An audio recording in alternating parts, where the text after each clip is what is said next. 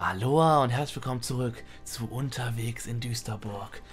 Letzte Folge sind wir durch die äh, Zwergenmine, also jetzt in den Eingang gekommen mit der Verkleidung und jetzt schauen wir, was uns hier erwartet.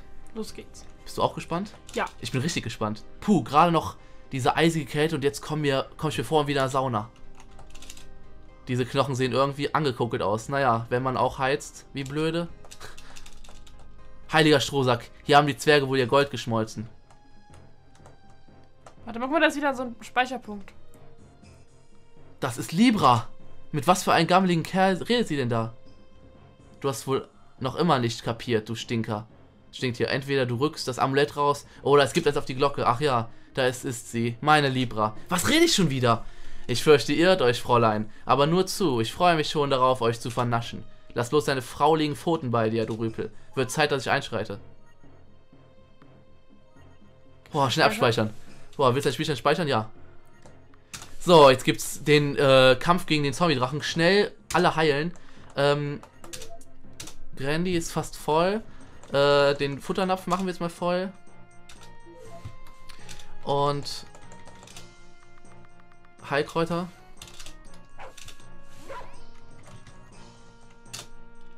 Hier, Julia Gababa. Jetzt nochmal speichern.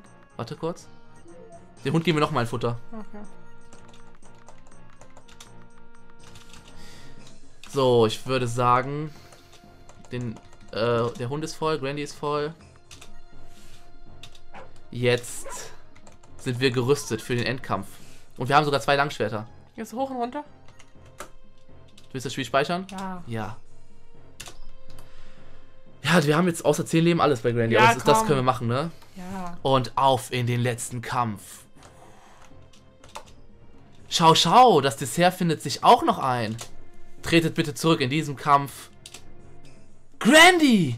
Libra! Schön, dass wir uns endlich gefunden haben. Du hast dir die ganz schön Zeit gelassen. Fast hätte ich diesen Drachen ohne dich erledigen müssen. Äh, ich bin aufgehalten worden. Da war diese Familie, die hatten ein Problem. Und überhaupt, wie kommst du dazu, mich zu kritisieren? Wir kennen uns doch gar nicht. Natürlich kennen wir uns, Dummerchen. Ich habe mein Gedächtnis verloren, Libra. Ich kann mich zwar irgendwie nicht erinnern, aber das ist auch schon alles. Aber jetzt, wo ich dich gefunden habe, wird sich alles aufklären. So einfach ist es leider nicht, Grandy. Ich kann mich ebenfalls an nichts erinnern. Aber ich weiß, dass wir irgendwie zusammengehören. Und jetzt, wo wir uns gefunden haben, wird sich alles auflösen. Hey, ihr zwei Turteltäubchen. Könnt ihr eure Süßholz später weiter raspeln? Wir haben hier schließlich noch was zu klären. Ach ja, dieser stink stinkende, halb verfaute Drache hat uns das heilige Amulett der Familie Dengelbrack in seinem Besitz. Werden Sie mal nicht beleidigen, Fräulein. Ich weiß, ich habe schon bessere Tage gesehen. Aber das ist kein Grund. Ähm, Herr Drache, bevor wir uns, äh, bevor wir uns auffressen, hätten wir noch gerne äh, ein paar Dinge geklärt. Erlaubt bitte, dass wir uns kurz zurückziehen. Nun gut, dann will ich mal nicht so sein. Klärt, was ihr zu klären habt, aber beeilt euch bitte. Was? Er will mir nicht sagen, wie er das Amulett, wie er an das Amulett gekommen ist. Ist ja auch egal. Jedenfalls will er das nicht rausrücken. Außerdem meint er, dass er schon seit Jahren nichts Richtiges mehr zu fressen hatte. Und da käme ich ihm gerade recht. Genau, frisch und saftig. Hehehe. Der Kerl ist doch genauso tot und vergammelt wie alles, was sich in dieser Mine rumtreibt. Oder Drachila Drachilein, du brauchst doch gar nichts äh, mehr zu fressen oder äh, leben zu bleiben. Naja, Hunger habe ich nicht gerade, aber einen immensen Appetit. Ich fürchte, mit dem Kerl ist nichts zu verhandeln. Wir sollten uns zusammentun. Das sowieso, Grandy. Schließlich scheinen wir das gleiche Schicksal zu haben. Libra schließt die Gruppe an. Nochmal speichern. Falls wir es nicht schaffen, damit wir das nicht schon mal alles lesen müssen. Und jetzt geht's wirklich auf den Kampf. Bringen wir es hinter uns. Untoter Drache greift an. Okay, Libra scheint eine Zauberin zu sein. Guck mal, was sie für Techniken hat. Äh, Ich hatte die, diese. ja, warte. Äh, Libra, Magie. Die hat Oh. bestimmt diesen. Guck, mit, mit ihrem Feuerball kann die bestimmt dann den. Den äh, Baum besser besiegen. Okay, was glaubst du, was auf den Drachen äh, effektiv ist? Ja, Schockfrosten. Schneesturm, Kugelblitz? Ich würde sagen, ähm, Schockfrosten, oder? Feuer wahrscheinlich nicht. Ich würde sagen, machen wir mal Eis. Okay. Ich probiere einfach alles aus. Oh, unter Drache greift an. Oh, Eisblitz. 8 LP ist Ah. nicht so viel. Aber wir haben zwei Langschwerter. 35 LP ist schon ganz gut. Ähm, Grandy, mach du mal weiter so. Wir probieren jetzt mal den Blitz aus. Juli. 18, ja, sehr gut. Libra kriegt 18 ab. Libra steuert einen Blitz. Drache 25. Okay, der Blitz ist sehr effektiv scheinbar. Weil eben war es nur 8. Ja. 37. Okay, dann machen wir mal so weiter. Machen wir Vielleicht Schneesturm? Nee, das ist äh, nur das für, für mehrere Gegner. Das eine ist für Ah, mehrere okay. Gegner auf einmal trifft und das ist das, was eine, ein Gegner trifft. Boah, eben wieder 32 verloren. Ihm, ihm hängen schon die Fetzen von der Nase. Der macht nicht mehr lange. Ach, die Teilchen brauche ich gar nicht. Die waren davor abgestorben. Oh, die HP sieht noch ganz gut aus. Kritischer Treffer, 57. Boah, unser Hund, ey. Der und Juli weicht aus. Unser Hund, ey, ist einfach super. 33 HP. Vorwärts, Grandy. Ein letzter Hieb. Und wir haben ihn hinter uns. Grandy greift an. 43. Und der dritte Rache bricht zusammen. 400, E- 400 EP. Oh, da kannst du dir 1100 Heilkräuter Taler. Juli Stufe 13. Ich würde mal sagen, mit äh, Libra in unserer Gruppe rocken wir hier die ganze Gegend. Ähm, los. boah, so viel Schatztruhen. Schwere Armbrust. Langschwert. Jetzt haben wir drei Langschwerter. Braucht kein. Braucht kein Mensch. Heiliges Amulett. Vielleicht finden wir nochmal in unserem Kämpfen. Endlich haben wir das Amulett. Lass es schnell zu Dankwart. Leichten Helm. Jetzt gehen wir mal hier auf den Stuhl, was da passiert. Glaubst du, da passiert irgendwas? Der Thron ist zu klein für mich. Zwergengröße. Oh. Außerdem riecht er verbrannt. Okay. Dann geh raus. Ja, Leute. Zeit zu gehen. Ich hab's fürs Erste genug von Schnee gesehen. Es ist ein weiter Weg, aber wir haben uns einiges zu erzählen. Ah. Soll, sollen wir den Text immer vorlesen oder sollen wir ihn jetzt. Keine Ahnung, lies halt einfach. Wenn du selbst klicken kannst, ist okay, aber wenn das so schnell Okay, runterrasselt und du okay. Willst du die Frau lesen und schließt den Mann? Okay. Okay. Und da war noch eine Sache, an die ich mich erinnern konnte, als mir Dankwart seine Geschichte erzählte. Ja? Der Name Warenfried, der dunkle Fürst von Düsterburg. Als er mir den Namen nannte, wurde mir eiskalt. Ja, jetzt wo du es sagst, mir geht's genauso. Es muss, er muss etwas mit unserer Vergangenheit zu tun haben. Was denn? Unser Weg führt uns nach Düsterburg.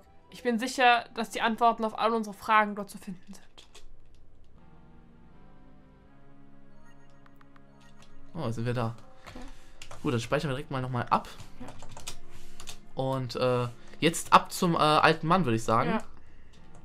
Weil äh, wir haben ja jetzt äh, das Amulett, dann kommt er mit uns. Ja. Jetzt bringen wir das heilige Amulett.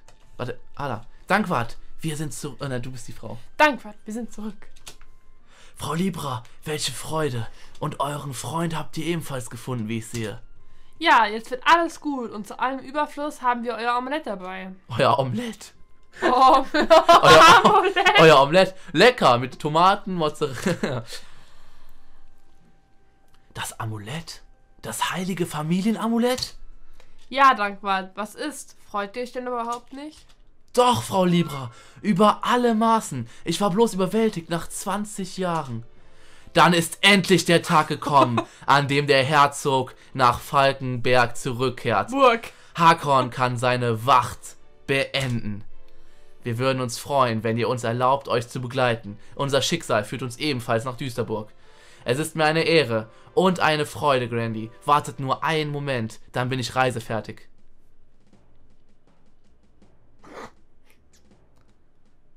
Lasst uns aufbrechen.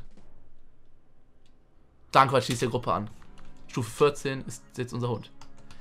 So, und jetzt mit den ganzen Leuten hier können wir jetzt noch diese Quest von dem Geist Ja. locker machen. Also das war jetzt auch genau diese Höhle?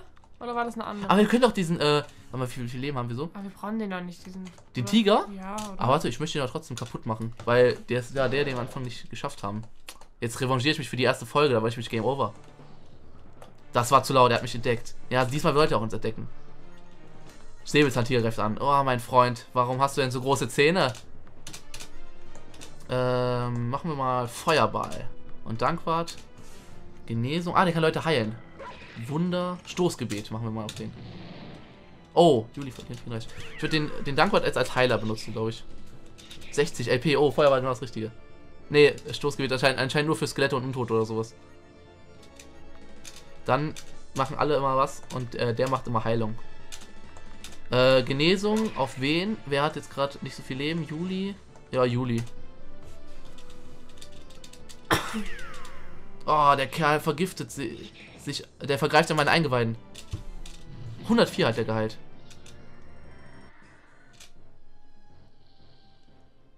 Oh, schon down. Gewonnen. Boah, mit dem Team machen wir alles platt. 357 EP halt einen Tigerzähne eingesackt. Siehst du, Tigerzähne hätten wir sonst nicht bekommen. Lieber Stufe 13. Aber liegt da nicht jemand? Eindeutig nicht mehr zu retten. Alles fein säuberlich. Da liegt jemand. Ich bin zu spät gekommen. Ah. Nee. Hier gab es nur das Langschwert und den Okay, Tiger. dann geh runter. Aber Tigerzähne haben wir jetzt immerhin mitgenommen.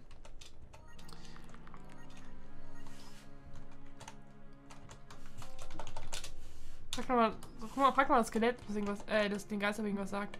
Nee, ich denke mal, wir werden jetzt erstmal, also Okay. nach der Quest wird er erstmal wahrscheinlich mit uns was sagen. Aber die wird es wahrscheinlich erst in der nächsten Folge geben. Ähm, wir werden jetzt mal. Aber da dürfen wir nicht hin zu dem, weil das ist nämlich der Wächter. Ah. Und wenn der Wächter äh, sieht, dass der Herr wieder da ist, dann werden wir wahrscheinlich weitergehen. Aber wir machen erstmal alles hier fertig. Ähm, wir machen jetzt hier in der Folge noch, wir uns eine Ausrüstung und so weiter. Und in der nächsten Folge gehen wir dann die Aufgabe von dem Skelett machen. Leichter Helm. Gut. Zeug haben wir gar nicht. Gucken wir, was Libra so hat. Kampfstab.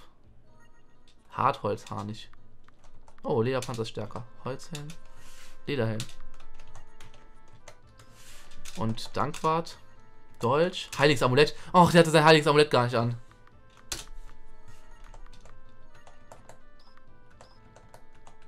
Dann geht das Holzhelm so lange.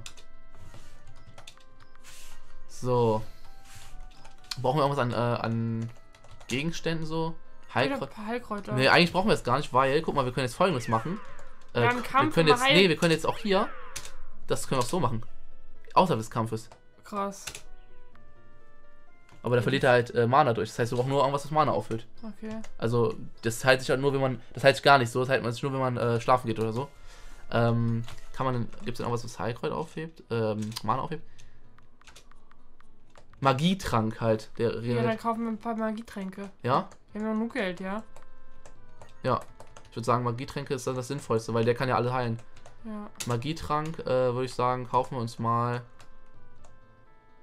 Mach mal. Mach mal ein paar, mach mal fünf oder so. Das ist schon viel, oder? Ja, Ja, egal. okay, kaufen wir uns fünf Magietränke. Den werden wir auch lange brauchen, glaube ich. So. Ausrüstung und so brauchen wir jetzt nicht kaufen. Das können wir auch dann, weil unsere Gruppe ist so stark im Moment. Ähm, schlafen brauchen wir jetzt auch nicht gehen. Würde ich sagen, Gucken wir noch mal ganz kurz, was da oben ist. das ist dieser Nebel, von dem ich erzählt habe. Ah. Ja, das ist kein Nebel. Ich bin zwar kein Fachmann in Sphärologie, aber ich denke, es handelt sich hierbei um einen Sphärenriss. Was soll das denn bitte sein? Wenn ich anfinge, euch das jetzt zu erklären, stünden mir Sicherheit noch morgen früh hier rum. Ah, sehr interessant, das Sphärenriss. Ach, wir haben doch jetzt diese äh, Spitzhacke. Kann man damit jetzt diese Sachen hier nicht Ja, aufbuddeln? das wollte ich auch gerade sagen. Das, doch, das ist eher vom Skelett. Hier wurde irgendwas vergraben. Ja, eben. Das wollte ich eigentlich die ganze Zeit sagen. Hey, das äh, hier ein Kurzschwert mit merkwürdigen Runen an der Klinge. Magisches Kurzschwert. Gucken wir mal, was das ist. Hui, ein magisches, aufgemutztes Schwertchen. Mal das. Ja, es ist nicht stärker als unseres, aber es hat vielleicht irgendeinen Magieeffekt. Aber wir werden jetzt erstmal. Ah, nehmen wir es mal wahrscheinlich- mit. Nehmen wir erstmal mit. Hat die Killer Ja, ja, kurz mal hier äh, kaputt gemacht, bevor die uns in die, in die Quere kommen hier.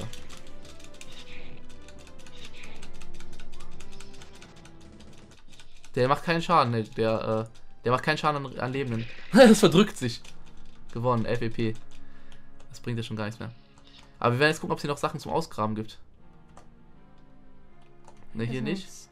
Die Orks brauchen wir auch nicht mehr angreifen, das Nee, ist komm. eigentlich sinnlos. Aber wir haben noch mehr äh, so Löcher gefunden. Die werden wir jetzt auch ausbuddeln und dann würde ich sagen, beenden wir die Folge. Ähm, hier ist nämlich noch ein Loch dahinter.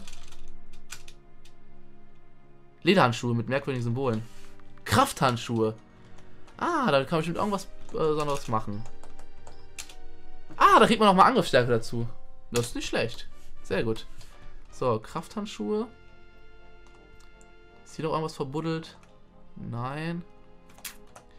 Gucken wir nochmal schnell unten. Guck, ob du irgendwas Verbuddeltes sehen kannst. Ansonsten würde ich sagen, werden wir jetzt, Machen wir jetzt Schluss und gehen ins nächstes. ja, werden wir uns jetzt, ah, nee. Nee. Warte mal. Nee. Wir werden uns jetzt vor die Höhle begeben, äh, in der die Überreste des Geistes liegen.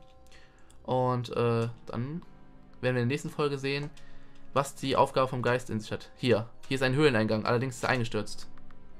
Und hier können wir die Spitzhacke für benutzen. Gut. Dann speichern wir nochmal hier auf 12 Und dann würde ich sagen, vielen Dank fürs Zuschauen. Ja. Den Zombie-Drachen haben wir es gegeben, dem Tiger haben wir es gegeben und in der nächsten Folge werden wir wieder in den düsteren Wald gehen. Vielen Dank fürs Zuschauen. Wenn euch die Folge gefallen hat, denkt an eine positive Bewertung und Lob, Kritik, Anregung, Vorschläge, Sachen, die wir vergessen haben, in die Kommentare. Bis zur nächsten Folge. Ciao. Möchtest du zum Abschluss dieses, diesen Delfin machen?